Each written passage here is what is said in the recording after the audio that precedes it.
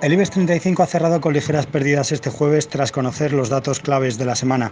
El Banco Central Europeo ha mantenido su mensaje dovish y Christine Lagarde, su presidenta, ha asegurado que mantendrá la política de compras de activos hasta que no hayan sido superados los efectos negativos de la pandemia.